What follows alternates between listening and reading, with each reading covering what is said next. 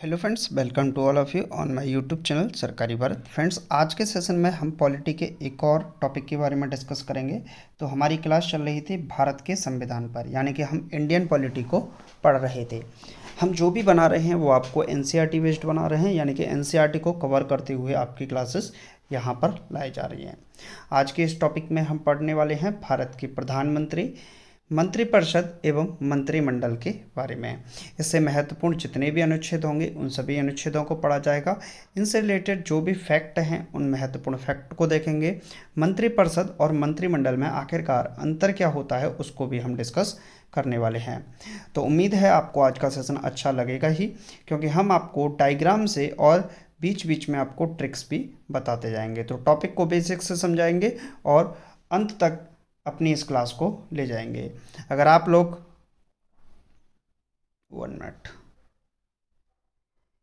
यदि आप लोग तैयारी कर रहे हैं और किसी भी एग्ज़ाम की, चाहे एसएससी की तैयारी कर रहे हों रेलवे की तैयारी कर रहे हों, या फिर अदर कम्पिटेटिव लेवल एग्ज़ाम की तैयारी कर रहे हों, अगर आप टीचर बनना चाहते हैं पुलिस कांस्टेबल बनना चाहते हैं, अगर आपके पेपर में पॉलिटी की पॉलिटी आती है तो आपके पेपर में यहाँ से क्वेश्चन बनने की संभावना पूर्णतः है।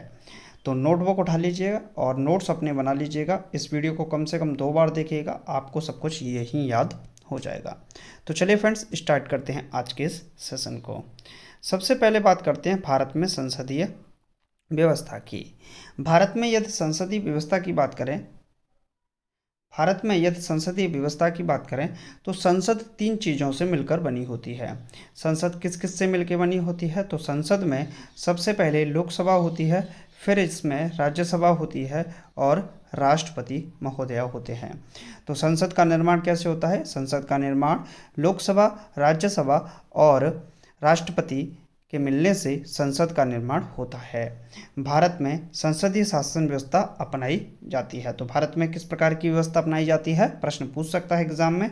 तो भारत में संसदीय शासन व्यवस्था अपनाई जाती है, जिसमें राष्ट्रपति की बात करें तो नाम मात्र का प्रमुख कौन होता है? राष्ट्रपति, जबकि वास्तविक प्रमुख कौन होता है? प्रधानमंत्री। प्रधानमंत्री, राष्ट्र राष्ट्रपति यदि कोई भी कार्य करना चाहता है तो वो बिना मंत्रिपरिषद की सलाह, बिना कैबिनेट के सलाह, बिना प्रधानमंत्री की सलाह के नहीं कर सकता। तो यानी कि संसदीय शासन व्यवस्था में हमारे यहाँ पर भारत में बात की जाए तो राष्ट्रपति नाम मात्र का प्रमुख होता है, जबकि वास्तविक प्रमुख कौन होता है? प्रधानमंत्री होता है। भारत में राष्ट्रपति केवल नाम मात्र का मुखिया होता है और वास्तविक शक्तियाँ किसके पास होती हैं? मंत्रिपरिषद के साथ मिलकर प्रधानमंत्री के पास होती हैं और प्रधानमंत्री ही सरकार चलाने का कार्य करते हैं।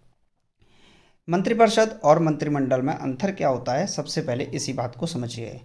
मंत्रिपरिषद को हम बोलते हैं काउंसिल ऑफ़ मिनिस्टर क्या बोलते हैं? काउंसिल ऑफ़ मिनिस्टर्स इसके तीन पार्ट होते हैं मेनली पहला पार्ट होता है इसमें कैबिनेट मंत्री प्लस प्रधानमंत्री, जिसको हम मंत्रिमंडल के नाम से जानते हैं। तो मंत्रिपरिषद के कितने भाग होते हैं मुख्यतः? मुख्यतः तीन भाग होते हैं। पहली होती है कैबिनेट मंत्री प्लस प्रधानमंत्री, जिससे हम मंत्रिमंडल का निर्माण होता है। दूसरा होता है राज्य मंत्री राज्य मंत्री भी दो प्रकार के होते हैं। एक राज्य मंत्री होता है, एक राज्य मंत्री स्वतंत्र प्रभार होता है। अभी डिस्कस करेंगे स्वतंत्र प्रभार क्या होता है। इसके बाद तीसरे होते हैं उपमंत्री। क्या होते हैं? उपमंत्री। तो जो मंत्रिपरिषद है, वो राज्य मंत्री उपमंत्री, कैबिनेट मंत्रियों के मिलने से मंत्रिपरिषद का निर्माण होता है। यानी कि मंत्रिपरिषद में सदस्यों की संख्या अधिक होती है, जबकि मंत्रिमंडल में सदस्यों की संख्या कम होती है। कैबिनेट मंत्री, सरकार के प्रमुख मंत्रालय जैसे रक्षा मंत्रालय, वित्त मंत्रालय, गृह मंत्रालय आदि के प्रमुख होते हैं और यह अपने विभाग संबंधी निर्णय स्वयं लेते हैं। यानी कि कैबिनेट को एक बड़ा अहदा दिया जाता है। राज्य मंत्री कैबिनेट के सहायक होते हैं। जो कैबिनेट मंत्री होते हैं, उनके सहायक मंत्री कौन होते हैं? राज्य मंत्री होते हैं। स्वतंत्र प्रभार के मामले में वे अपना कार्य कैबिनेट मंत्री की भांति ही स्वतंत्रता से कर सकते हैं। जबकि उप मंत्रियों की बात की जाए तो उप मंत्रियों को कैबिनेट तथा अथवा राज्य मंत्रियों को उनके प्रशासनिक, राजनीतिक और संसदीय कार्य में सहायता के लिए नियुक्त किया जाता है। तो उपमंत्रियों को क्या? कैबिनेट और राज्य मंत्रियों को उनके प्रशासनिक, राजनीतिक और संसदीय कार्य की सहायता के लिए नियुक्त किया जाता है। तो भारत की बात करें तो भारत में मंत्रिपरिषद सबसे बड़ी होती है, जिसमें सदस्यों की सबसे अधिक संख्या होती है, जिसमें कैबिनेट मंत्री, प्रधानमंत्री राज्य मंत्री और उप मंत्री होते हैं। कैबिनेट मंत्री प्लस प्रधानमंत्री को जोड़ा जाए तो मंत्रिमंडल का निर्माण होता है। राज्य मंत्री क्या होते हैं? कैबिनेट मंत्री के सहायक होते हैं और राज्य मंत्री जो स्वतंत्र प्रभार होते हैं, वे अपने मामले में जिस तरीके से कैबिनेट मंत्री स्वयं स्वयं से निर्णय ले सकते हैं, किसी भी विभाग से संबंधित, उसी प्रकार से स्वतंत्र प्रभार से राज्य मंत्री भी निर्णय ले सकते हैं। जबकि उप मंत्री कैबिनेट मंत्री और राज्य मंत्रियों की प्रशासनिक, राजनीतिक और संसदीय कार्य में सहायता के लिए नियुक्त किए जाते हैं। इसके बाद बात करते हैं प्रधानमंत्री और मंत्रिपरिषद के बारे में। तो समझते हैं प्रधानमंत्री और मंत्रिपरिषद के बारे में। आर्टिकल 74 की ओर चलते हैं अनुच्छेद चौहत्तर की तरफ़। राष्ट्रपति की सलाह के लिए एक मंत्रिपरिषद होगा, जिसका प्रधान प्रधानमंत्री होगा।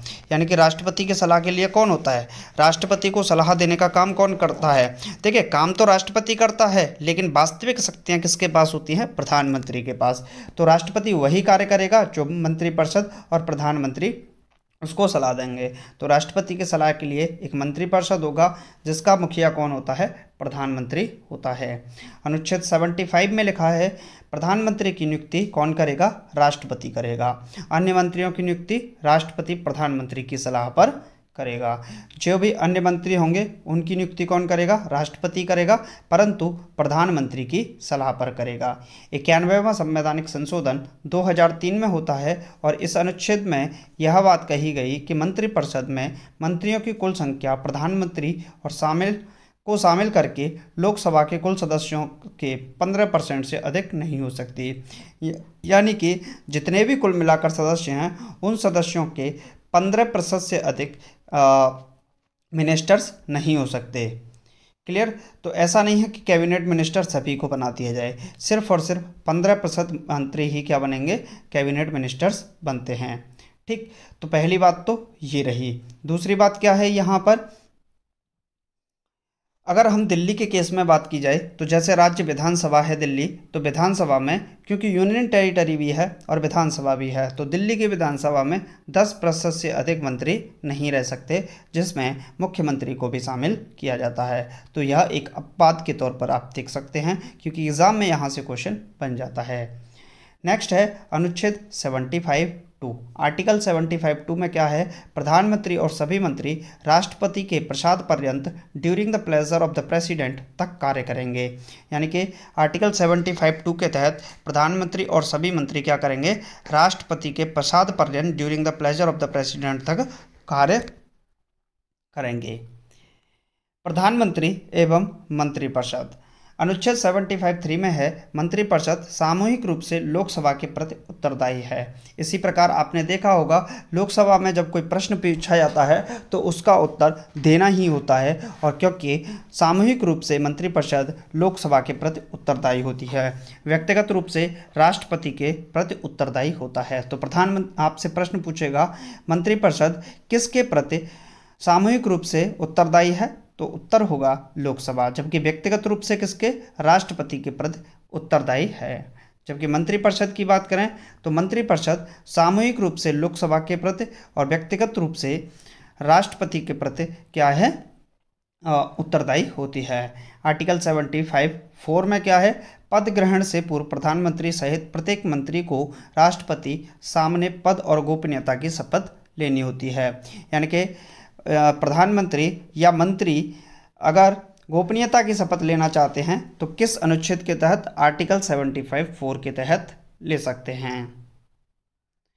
प्रधानमंत्री और मंत्रिपरिषद के बारे में कुछ महत्वपूर्ण अनुच्छेदों को और समझ लेते हैं। अनुच्छेद 75 फाइव में क्या लिखा है? मंत्रिपरिषद का सदस्य बनने के लिए वैधानिक दृष्टि से यह आवश्यक है कि व्यक्ति संसद के किसी सदन का सदस्य हो। यानी कि यदि कोई व्यक्ति कैबिनेट मिनिस्टर बनना चाहता है, राज्य मंत्री बनना चाहता है या उपमंत्री बनना चाहता है तो उस व्यक्ति को या प्रधानमंत्री भी बनना चाहता है तो उस व्यक्ति को किसी न किसी सदन से, चाहे तो उच्च सदन से या निम्न सदन से बोल सकते हैं। या तो लोकसभा से या राज्यसभा से छः महीने के अंदर संसद सदस्यता ग्रहण करना अनिवार्य है, नहीं तो उसे अपना पद छोड़ना होगा। अनुच्छेद सेवेंटी एट के अनुसार देखें तो प्रधानमंत्री का यह कर्तव्य होगा कि वह देश के प्रशासनिक एवं विधायी मामलों तथा मंत्रिपरिषद के निर्णयों के संबंध में राष्ट्रपति को सूचना दे। यदि राष्ट्रपति इस प्रकार की सूचना प्राप्त करना आवश्यक समझे। इसके बाद कुछ महत्वपूर्ण तथ्यों से संबंधित जानकारी प्राप्त करते हैं, क्योंकि पेपर में यहाँ से प्रश्न बनने की प्रबल संभावना रहती है। तो पहला है प्रधानमंत्री मंत्रियों को त्यागपत्र देने अथवा राष्ट्रपति को उसे बर्खास्त करने की दला दे, सलाह दे सकता है। यानी कि प्रधानमंत्री क्या है? मंत्रियों को क्या कह सकता है कि भाई आप त्यागपत्र दे दीजिए अथवा राष्ट्रपति को बर्खास्त करने की सलाह भी दे सकता है। प्रधानमंत्री या राष्ट्रपति स्वयं भी बर्खास्त कर सकते हैं प्रधानमंत्री की सलाह पर या फिर मंत्री त्यागपत्र दे सकते हैं। दूसरा क्या है? प्रधानमंत्री मंत्रिपरिषद का प्रमुख होता है। अतः जब प्रधानमंत्री त्यागपत्र देता है अथवा उसकी मृत्यु हो जाती है तो मंत्रिपरिषद स्वयं ही विघटित हो जाती है। तो अन्य मंत्री भी कोई कार्य नहीं कर सकते। यानी कि जब मंत्रिपरिषद का प्रमुख कौन होता है? प्रधानमंत्री। या तो प्रधानमंत्री त्याग पत्र दे दें, या उनकी मृत्यु हो जाए। तो ऐसी स्थिति में मंत्रिपरिषद क्या होगी? स्वयं से विघटित हो जाती है और कोई अन्य मंत्री भी कोई कार्य नहीं कर सकते। प्रधानमंत्री नीति आयोग, राष्ट्रीय विकास परिषद, राष्ट्रीय एकता परिषद, अंतर्राज्यीय परिषद और राष्ट्रीय जल संसाधन परिषद का अध्यक्ष होता है। महत्वपूर्ण प्रश्न है, यहाँ से पेपर में बहुत पूछा जाता है और ये क्वेश्चन आता ही रहता है। क्वेश्चन क्या आता है? प्रधानमंत्री किसका अध्यक्ष होता है? तो नीति आयोग का भी अध्यक्ष होता है, राष्ट्रीय विकास परिषद का भी अध्यक्ष होता है, राष्ट्रीय एकता परिषद का भी अध्यक्ष होता है, अंतर्राज्यीय परिषद और राष्ट्रीय जल संसाधन का भी अध्यक्ष होता है। कुछ महत्वपूर्ण तथ्य और हैं, जैसे भारत का प्रधानमंत्री बनने के लिए न्यूनतम आयु कितनी होनी चाहिए? तो भारत का प्रधानमंत्री बनने के लिए यदि कोई व्यक्ति भारत का प्रधानमंत्री बनना चाहता है तो उसकी उम्र सीमा न्यूनतम यदि कोई व्यक्ति लोकसभा से प्रधानमंत्री बनना चाहता है तो उसकी न्यूनतम उम्र सीमा 25 वर्ष होगी। लेकिन वह यदि राज्यसभा से बनना चाहता है, क्योंकि राज्यसभा के सदस्यों की नियुक्ति कम से कम तीस वर्ष पर होती है तो उस व्यक्ति की उम्र तीस वर्ष होनी चाहिए।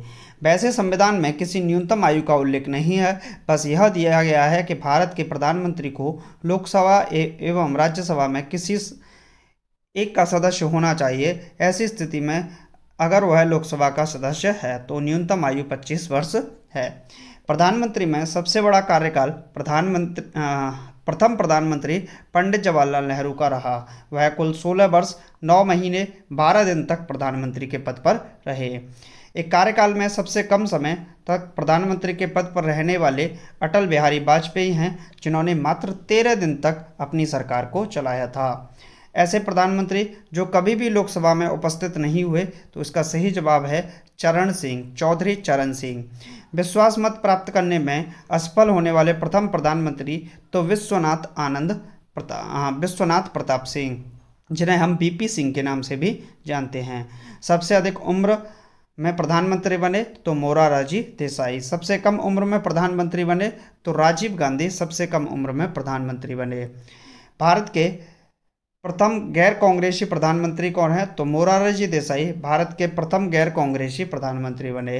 भारत में तीन बार तीन प्रधानमंत्रियों की मृत्यु कार्यकाल के दौरान हुई, जिनमें से पंडित जवाहरलाल नेहरू, लाल बहादुर शास्त्री और श्रीमती इंदिरा गांधी हैं। तो दोस्तों, आज के सेशन में हमने पढ़ा प्रधानमंत्रियों से संबंधित प्रश्नों को। यदि आपको आज का सेशन अच्छा लगा है और वीडियो अच्छी लगी है तो लाइक करके चैनल को सब्सक्राइब करना तो बिल्कुल ना भूलेगा मिलते हैं नेक्स्ट वीडियो में। Thank you thank you for watching this video